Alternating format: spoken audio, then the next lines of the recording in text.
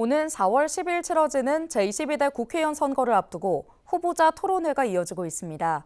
인천 부평구 을에서는 4명의 후보가 토론에 나섰는데요.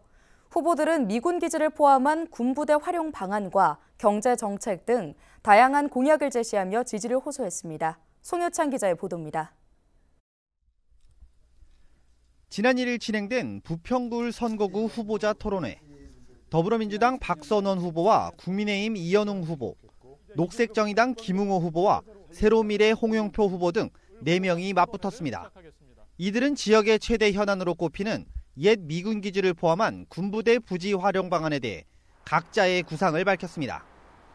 제3보급단 그리고 부평 국가산업단지 삼산 사지구를 미래형 첨단 산업단지로 발전시키겠습니다. 캠프 마켓은 부평의 문화와 역사 그리고 어린이 부모 할아버지 할머니가 온 세대가 쉴 수 있는 힐링 쉼터가 되도록 하겠습니다. 저 이현웅은 부평 시민의 요구를 받들어 쇼핑과 엔터테인먼트, 휴양, 레저, 문화 등 대형 복합 쇼핑몰로 추진하겠습니다. 부평 시민, 특히 산곡 청천, 뉴타운 지역 주민 중심 협상단 구성과 부평구청, 인천시와 우선 협상 대상자 협의하에 사업을 추진하겠습니다. 부평공원, 부영공원 그리고 부평 미군기지 3보급단을 연결해서 부평 숲을 조성하겠습니다. 녹지 비율을 높이고 주민의 삶의 질을 높여나겠습니다. 역사적 가치가 있는 건물은 잘 보존할 수 있도록 그렇게 하겠습니다. 제2 인천의료원은 대형 대학병원급으로 건설될 수 있도록 할 것입니다.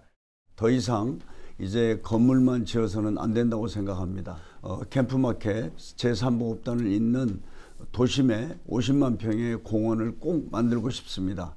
공원에는 문화예술을 포함한 어, 우리 주민들의 생활, 삶의 질을 개선할 수 있는 사업들을 어, 추진할 계획입니다. 이날 이어진 토론회에서 후보자들은 자신의 공약 등을 토대로 설전을 이어갔습니다. 이현웅 후보가 내놓은 7호선 급행열차 신설에 대해 김웅호 후보는 기술적 문제로 반대 입장을 보였고 이 후보는 이미 계획에 있는 만큼 정부와 여당을 설득해 추진하겠다고 반박하기도 했습니다.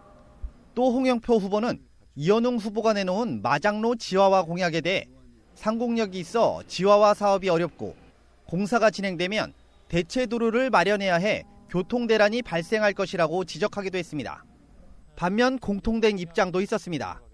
한국GM 부평 공장의 전기차 생산 추진과 청천동에 들어설 데이터 센터와 상동 호수공원에 설치 예정인 GTX-B 변전소 조성에 대해서는 반대 입장을 보이기도 했습니다. 이번 토론회는 중앙선거방송토론위원회와 LG 헬로비전 누리집에서도 확인할 수 있습니다. 헬로티비 뉴스 송유차입니다.